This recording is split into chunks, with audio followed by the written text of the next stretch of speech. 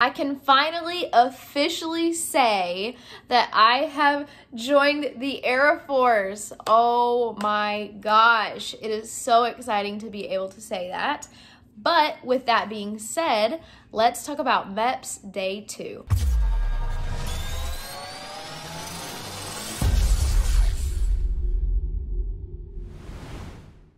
So I'm finally filming this on February 2nd, 2021, and I went to MEPS on January 14th and 15th. Day one of MEPS is where anybody who needs to take the ASVAB will do that, and day two is the extremely long medical day and that for me was on Friday, January 15th. So I woke up at 3:50 a.m. and I had my first alarm set for like 3.20 so I can half wake up and then still stay in bed, but then still get up early.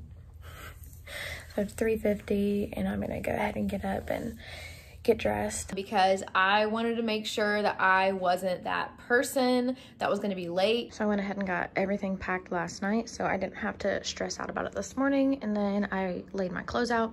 So I have my shoes and socks and underwear and non-sports bra. Ladies, don't bring a sports bra, bring a regular um, solid color bra, a pair of briefs, jeans, my tank top I'm gonna wear, a button up over this, my glasses, and then just some extra things, my mask and jacket and papers. This is what I'm wearing today. I just have a black button up and it has a collar on the top, a pair of non-ripped jeans, a pocket big enough to put my social and driver's license in because you got to carry those on you at all times because they ask for them a lot and then just a pair of tennis shoes it's going to be a long day so i am trying to be comfy so, MEPS day two.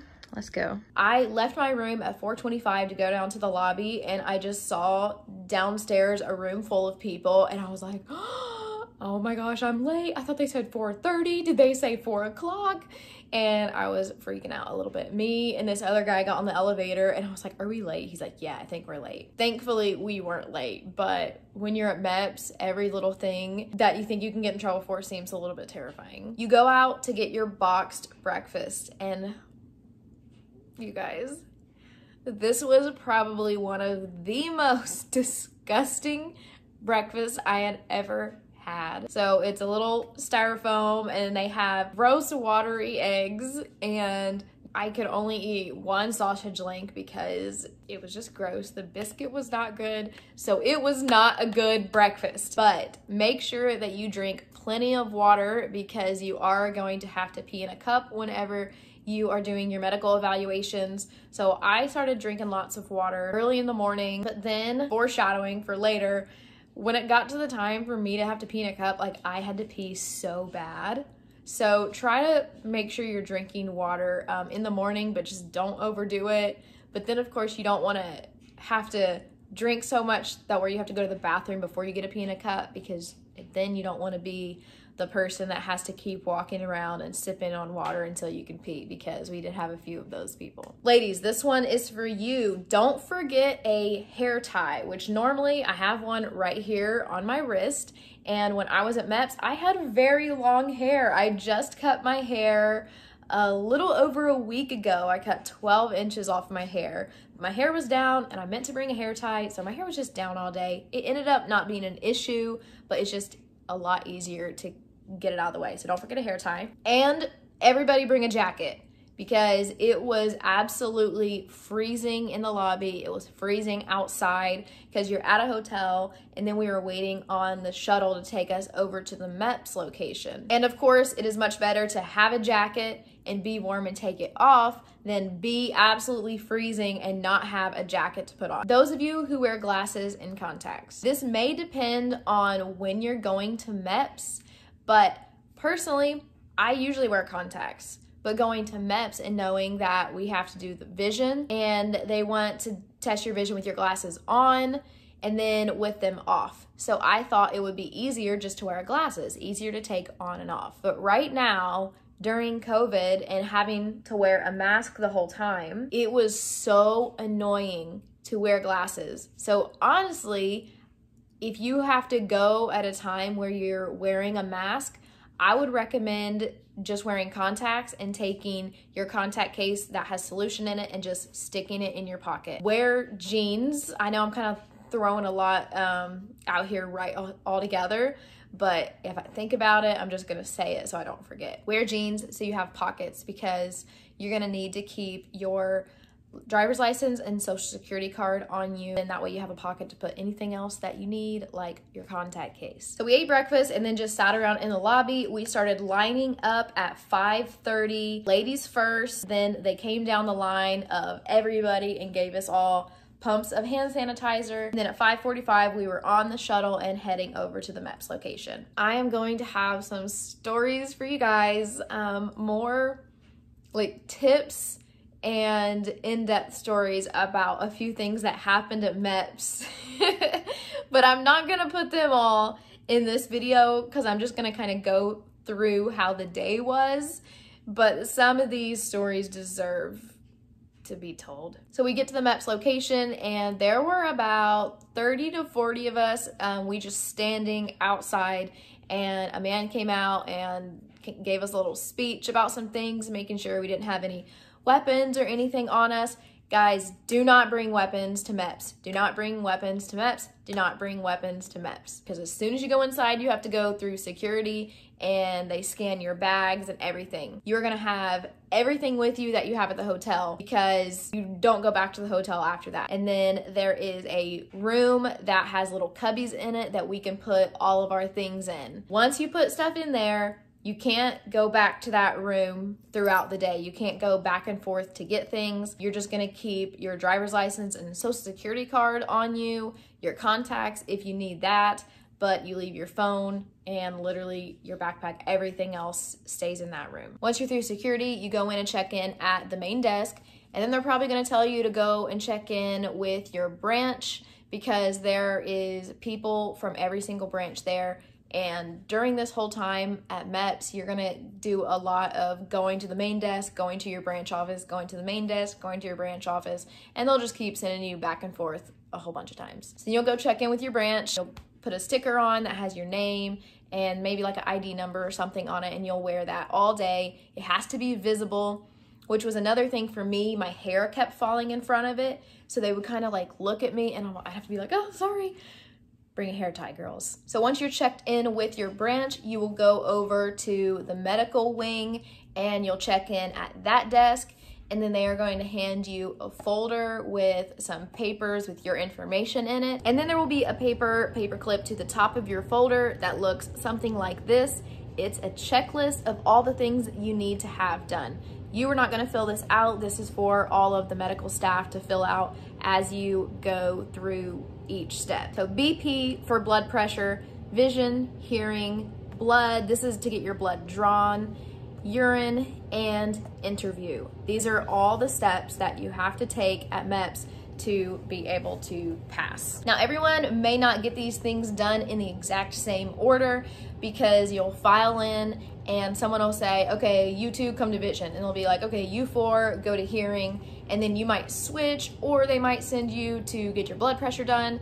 It's kind of all over the place and that's why there is a checklist to go over it all and make sure that you've hit all the boxes that you needed to. So typically the first thing might be getting your blood pressure taken. So you'll go over, they'll put the thing around your arm and they'll take your blood pressure super quick. With the vision, you will do the colorblind test, which is a little flip book and it will be like this and she'll just literally flip through like this. She was going through it so fast because you're either colorblind or color deficient or you're not. And it's gonna be really easy for them to tell that. So I went and she was like, flip, flip, flip. And I'm like, 25, 4, 18, 2, 7. And, you know, then they're like, okay, you're not colorblind. Other people, if they hesitate, they're gonna know yeah, you're probably colorblind or color deficient. That doesn't mean you're going to fail MEPS. It is just going to disqualify you for certain jobs. My husband Kyle, for example, is color deficient, so it disqualified him from certain jobs that he was able to join. Next is going to be depth perception, and there is a machine that you you look into like this, and it's just a bunch of circles that you're looking at, and you have to try to decipher which ones stand out from the others. And honestly, it is really hard. And surprisingly, I passed depth perception. Like there were some that I could tell and there was some I was kind of hesitant on, but I actually passed. It's not a disqualifying factor. Again, it just limits you to certain jobs or it disqualifies you from being able to go into certain jobs basically. So I tried a little trick and as you are looking down at the machine, because when you're staring at the same thing for a while, you know, things kind of like blend together. So try to like take your time, breathe, because you're not in a rush. It does, in the moment, it feels like you're in a rush while you're at MEPS because it's like, I gotta do this, I gotta do this, I gotta do this. But just when you're in each test, just like take a breath, it's okay. And something I tried to do, I don't know if it really helped me or not, is I would like, I would blink to try to like refresh and I would like wiggle my head back and forth like this because if maybe one's standing out a little more than the other and if I did that, I would be able to like see that possibly.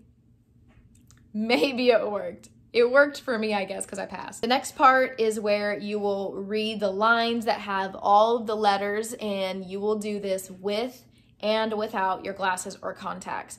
And it's just this one, just for a few seconds where you have to take your glasses or contacts out. So again, I wish I would have worn my contacts because I would just had to take them out, do that, put them in. I would be fine at the beginning and the whole rest of the day without my glasses fogging up. Personal preference though, my recommendation. And the next part is where you sit down and you look into the machine and you see a picture like all the way at the other end and it might be of like a farm or a hot air balloon or something like that. I honestly think that part is just for people who do need a prescription because the picture will go in and out of focus and that's how they tell how good your eyes are. So everyone may not do that part, but regardless, it's super easy. You just look at the picture, goes in and out of focus, and then um, they'll have you read letters again, just like you did when you were looking into the machine earlier, and see what the smallest line that you can read is. And those of you who have gone to an eye doctor before know that the worst part is when you sit down and they shoot the puff of air into your eye. You're supposed to like look straight, and it goes. They don't do that at MEPS, so no worries. Super easy. That's the vision. Then you get your checkbox once you're done with all of that. Next is the hearing test. You and a few other people will go into a soundproof room. Like you'll go into a room and then there's a soundproof box in there and you'll each sit at little stools and you'll put the headphones on. And then there are going to be a series of beeps that you hear. For example, it might be like and you'll have a little clicker in your hand. So you hold it in your hand and you'll press the button whenever you hear it. And there's another story for this. Basically, when you hear the sound, press it only one time per sound that you hear. So if you hear dee, dee, dee, don't go boop, boop, boop. You hear dee, dee, dee, one. Once you're done, you just sit there. Don't make any noises and it also doesn't tell you when you're done, which I hated because I'm like, is it just a really long pause? Am I done? But I still just sat there with it and I didn't hear anything, so I was like, I'm pretty sure I'm done. But it was me and two other people, and you have to wait for the lady to open the door because she can see everybody's testing like on the outside. So once everyone's done, she'll open the door and let you out. The next thing was the MEPS briefing, and this could be the very first thing you do. It could be mixed in all over the place. It probably just depends on when the commander has availability to come in and do the briefing. This is when they go through and just talk about expectations of MEPS, not lying at MEPS, this is also when they do the breathalyzer. There will also be a piece of paper sitting on every single person's desk, at least there was for me. It was just telling you that you were having medical evaluations done that day and females would get their breasts and genitalia checked out and that men were gonna get their genitalia checked out and I heard another guy like freaking out about it later because they were gonna look at his butt. Another foreshadow, it is like the quickest thing ever. Not a big deal. Don't stress out about it. So easy. Don't worry. It's gonna be okay. All right, after blood pressure, vision, and hearing, you will go and sit and wait until it's your turn to get your blood drawn. You'll go in and you know how it goes. They'll tie the little thing here and they'll put a needle in your vein right here. It goes by super quick. In the moment, it was fine but I bruised like crazy. I hope that didn't scare you though, because it really does go by really quick. It's not a big deal. And they'll do that. Just look away. And I'm not even afraid of blood, but I don't really want to watch it. And the doctor talks to you the whole time. Well, at least mine did. All the people at MEPS were actually really, really cool. Mostly friendly, but just listen and pay attention. Don't be the person who is gonna make everything difficult because it makes it harder on yourself and it's just gonna make the people at MEPS like even more mad. They're trying to get through their day just like we're trying to get through our day. Just listen and follow the rules. If you can't listen and follow the rules, I do not think that joining the military is the right path for you in life. Next for me was the urine, and we had to wait for the lady who was doing all the vision testing to be done with all of the people in that group. She came over and there was only like six of us girls. I really had a small group at MEPS. The amount of people at MEPS can vary day to day because it might be a day where people are getting ready to ship out, but then there are also people in processing into MEPS and it might be like a really busy, hectic day. But for me, it was just a in processing day for us who were joining um, this is all different branches, by the way, not just Air Force. Once the lady was ready, all six of us girls and the lady went to the bathroom together and I was thinking like we would be in line outside of the bathroom and then she would have us like come in one at a time. You'll go into the bathroom and there are two stalls, but neither of them have doors on them. So I was thinking maybe one, maybe two people at a time, but no, we all just went in there. and she's like, all right, who wants to go first? And me and the other Air Force girl, actually, we both were like raised our hands and we were like, we gotta pee real bad. Because I drink tons of water at breakfast. So it made it easy. Like if you're in there and you're nervous, but then like maybe you already have to pee, it just makes it easier because like, well, I gotta go anyway, whatever. If you don't have to pee real bad and then like you're nervous, then it may take you forever to go. But me and her went, no problem. You have to fill up your cup like a little over halfway. It has to hit. So you cap it and then you're actually not allowed to wash your hands after you get in line because there is a window in the bathroom from that window, you can't see the stall. The way it is, is there is a doctor's office in the middle, and then there's a window over here, and then the female bathroom. And then there's a window on the other side in the male bathroom. So then we are like the females are lined up here, and the males are lined up here, and there's that doctor's office in the middle. So then they would come to each window and like test our urine. So yeah, you could see the other people. You could see people with their pee cups and everyone's different colors of pee. It was pretty gross. So when you get up to the window, the lady will pour like a certain amount in this other container and then seal that up and put like a sealed sticker on it and you have to like look at it and make sure it's completely sealed because they send that off to somewhere else and that's like the drug test thing and we have to sign off on it, signature and initial saying that it was completely sealed. And then ladies, we also have to do a pregnancy test and then what's the other thing they test for? Sugar and protein in your urine. Last part for me was the interview with the doctor and the doctor I had was so sweet. She was the doctor for everybody uh, at that location that day, but she was so sweet and just went through asked just a bunch of questions. This is especially the time where you want to make sure that you know everything that is on your paper that you came with from the recruiter. Because when you go to MEPS, your recruiter will give you a paper and it has like anything on there, like maybe a waiver that you had. Or for me, for example, I wear glasses or contacts, so that's on there. Have you ever had any surgeries? Yes, I've had my wisdom teeth removed. Oh, are you taking any medications? And I have a pregnancy implant, not a pregnancy implant, a birth control implant. I'm not trying to get pregnant right now. I have a birth control implant in my arm. So that's notated on there. So just look over everything that you talked about with your recruiter and know what is on your paper. So those were the things for me.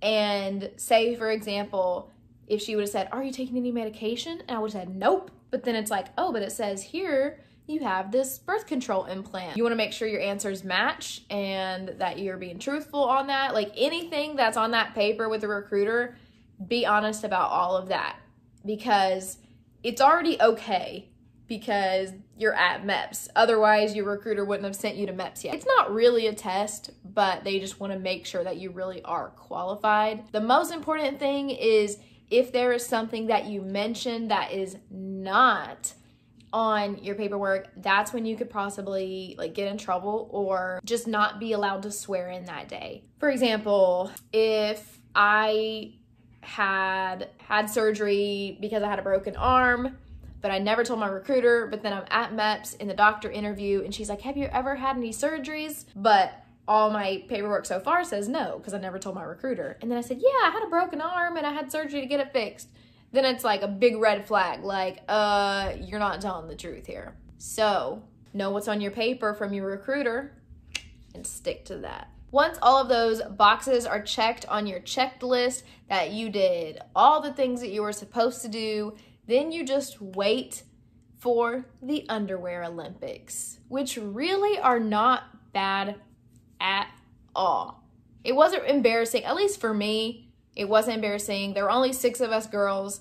And it's just like, this is something that we all have to do regardless. So it's not a big deal. Don't make a big deal about it. So all of us girls went into a big open room. It was real cold. It's just like tile floors cinder block walls. It was so cold in there. Stripped down all the way to just your bra and your underwear. I'm gonna make another video going uh, more in depth about everything that you do during the Underwear Olympics, but it was so easy, so simple. Another thing that we did while we were waiting is we had to fill out a scar tattoo form where you have to notate any scars or tattoos on your body and you have to like measure them. They have a measuring stick in there if, if you need to do that. So for me, uh, I don't have any tattoos, but I have a little birthmark. Oh, because they, they said birth, like scar birthmark tattoo. So I put this birthmark on there and they said if you have piercings anywhere to to put that other than earrings they didn't mind but i have my nose pierced and i also have my belly button pierced so i put a scar right there yeah so you fill out that form and then you just wait to do the underwear olympics once the underwear olympics are done then you get fully naked and you put on this terrible thin almost like tissue paper robe. You get fully naked with everyone else in the room? Yes, but there were like curtains in between, so you could like pull them out and like get undressed. So so we couldn't see each other. Interesting. Yeah, because there was like one bench along the wall, and then there were like little curtains that you could pull out, and we were kind of like in those. If there were more people, they probably would have had us go in the room and then get fully undressed. But where there were so little of us that we had enough curtains to block us, then we got fully naked right yes. there. Terrible tissue paper robe, literally the worst. And then you're just sitting there cold, waiting for the doctor to call you in. The examination is literally so easy. If you have ever been to, like, ladies, if you've ever been to the gynecologist, it's not even as bad as that. Because I was thinking we were going to put our feet up in stirrups, and we didn't even do that. You go in and you lay down, and they used to like feel your breasts, but they don't even do that anymore. She said they just stopped doing that like a few weeks ago. So all they do is a visual exam. So they'll open one side and look, open the other side and look, and then you butterfly your legs, and literally she just looks like this, and then literally to your butt just goes, okay, like two seconds. Not bad at all. Don't stress, it's all good. She also did some basic stuff where she would be like, look at my finger, follow my finger. And then for the Air Force, something they have to do now, they look in all of our ears, but for the Air Force, we have to do that like thing like that where you pop your eardrums because she has to be able to see your eardrums move and that's just a requirement for the Air Force people now. After you pass that, then you're done. And as long as you passed everything, then you passed. So once you're done with all of the medical stuff, you will go back to the desk in the medical center and turn in your folder and then you just wait for them to call you back up to check you out of the medical wing, basically. So you go back out to the lobby, check in with them, then you'll go check in with the branch people again, and you'll kind of do that whole back and forth thing again. Then you'll go and have another interview with a whole other person. I honestly don't even know who this guy was. He just is the guy who kind of interviews everybody. He'll take all your fingerprints, and then after that, they have you do a survey, and then you just have a whole lot of waiting until it's your turn to swear in. For the Air Force, we also have to lift a weight like there's a machine that's just like a tall machine like this and you have to at least do 40 but the more that you can do then you qualify for more jobs. So I actually was able to do 70 pounds. You have to pick it up from the ground and then like twist your wrist and like keep pushing it all the way up. And uh, there's a certain line you have to get it across. If you are worried about that, I mean, as long as you can do 40, then you're gonna pass that and it just helps you qualify for different jobs. So thankfully I was able to do 70 on that. So I was pretty much good for everything. And then they do provide a bagged lunch for you. It was like sandwiches and chips and like fruit and water, things like that. So I was done with everything about 11:30 and then I had to wait to swear in at 12:30. So we go to a room and had to watch a video which honestly at the moment I can't remember what the video really was. but it was me and two other guys who were swearing in at the 12:30 Air Force swear-in. They do different swear-in times throughout the day. And after we watch that, we go to the swear-in room and somebody will show you how to stand at parade rest and how to stand at attention and then the commander will come in and swear you in. So there was a guy who was going guard first. So he swore in by himself because he had to say different things. And the words were actually right there on a big plaque. So he could read off of that. And then he would have to stay like in the state of Alabama. But then me and the other guy were going active. So we would just repeat what the commander said because it just covered everything because we weren't doing a specific state. So I actually have a video of me swearing in. Raise your right hand. After me, I state your name. I, McKenna Gott, Do solemnly swear. Do solemnly swear. that I will support and defend that I will support and defend the Constitution of the United States. The the Constitution of the United States. Against all enemies, against all enemies, foreign and domestic, foreign and domestic, that I will bear. That I will bear. True faith and allegiance. True faith and allegiance. To the same, to the same, and that I will obey. And that I will obey the orders of the President of the United States. the orders of the President of the United States. And the orders of the officers appointed over me, and the orders of the officers appointed over me, according to regulations. According to regulations. And the Uniform Code. And the Uniform Code. of Military Justice. of military justice. So help me God. So help me God. I lower your right hand. I'm just glad that I have something because they do not record you there. And before I went, people were like, oh yeah, just ask for someone to record you and they'll record you. And I asked so many people and I kept getting, oh yeah, we'll get someone to record you. Oh yeah, we'll get someone to record you. Oh yeah, we'll get someone to record you. And then like I go in there and the lady who taught us to stand at attention and parade rest, like once we were standing at parade rest and she's like, do not move from that position until the commander comes in. And then I was kind of like, hey, I have my phone. And she's like, what do you have your phone in here for? And I'm like, because people keep saying that someone's to record. She's like, who's to record? I'm like, I don't know. Everyone just keeps saying someone will. Finally, she went out and got one of the Air Force guys, and he came in and recorded for me. I was hoping he was to record like all three of us swearing in because I was to give the video to those guys, but he literally like only recorded me which sucks for them, but I'm glad that I at least have something. So guys, just keep asking if you want it to be recorded. Find someone to do it. Mostly, I would say someone that's in your branch office. Make sure if they say, oh yeah, we'll get someone, be like, can you do it? That way you can be guaranteed to have somebody that will do it. After that, you'll go back to your branch office again. And during these times of like going back and forth, you are signing your contract. So I'm signing a four year contract and you sign with just your fingerprint. Like that's how you sign everything there. I was done with everything at about one, but we didn't leave until about 3.30. So we just sat in the lobby forever it seemed like doing absolutely nothing. All my stuff was in that closet from where we checked in from security in the morning. But before I swore in, I went to one of my Air Force guys. I said, hey, can I go get my phone? Because you can't get your phone until you're done with everything and the last thing that you have to do is swear in. Some branches may allow people to get their phone.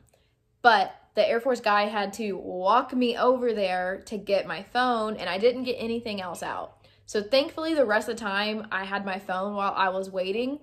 But other people, by the time they thought to go get their phone, the people from their branch office had already left for the day and they wouldn't let people go get it until it was time to leave that day. So people just had to sit there and literally do nothing. I talked to just a few people and it actually ended up being people that were on the same shuttle, I guess because we were all had the same waiting time. So finally, about 3.30, the shuttle got there and I had a two hour ride back home and I passed out as soon as I got on the shuttle. I was so tired. You have to keep your mask on on the shuttle as well. And yeah, I had my backpack and I just was like, I was out. But anyway, I was supposed to be with my recruiter when I got back and do job selection. Depending on branches, the way you do job selection is different because I'm pretty sure Navy people swear in and select the job like at MEPS. But for me, I swore in, but I don't have a job selected yet. So I met with my recruiter two days later. I'll talk more about all the job selection stuff later. But currently, I'm actually still waiting on a job and a ship date. But I finally swore in. This is the furthest I've ever been. I'm excited. Really, don't stress out about MEPS too much. You'll do it. It'll be great. Thanks for watching. Talk to you guys later.